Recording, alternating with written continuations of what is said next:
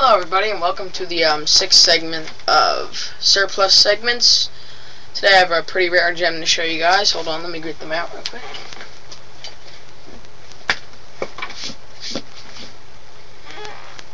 These are German World War II jack boots, officers' boots. Um, they were never used. They were supposed to go out to officers, but they were never used. Um, it's the bottom of them. The bottom, I believe, is all rubber. It's marked size 27 and a half.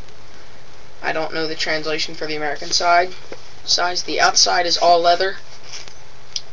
Um, put them on to show you how high they go.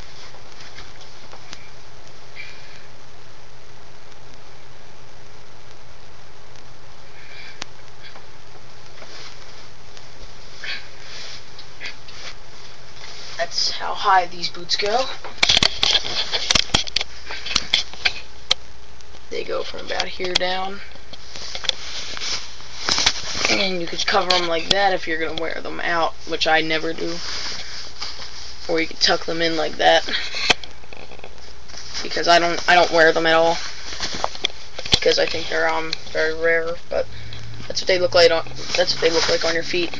That I think the translation to the American size is a size 8, I'm not sure. But, um, that's what they look like. Let's show you the inside in a minute. These things are a pain to get off.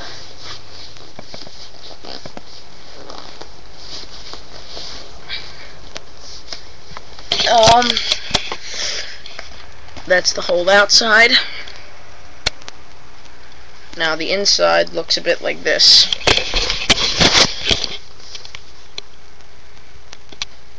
It's um, just the inside of leather.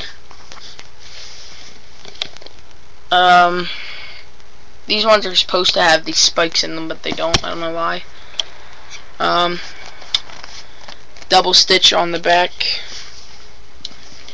But, um, these were World War II era Nazi boots, but, um, thank you everybody. Peace.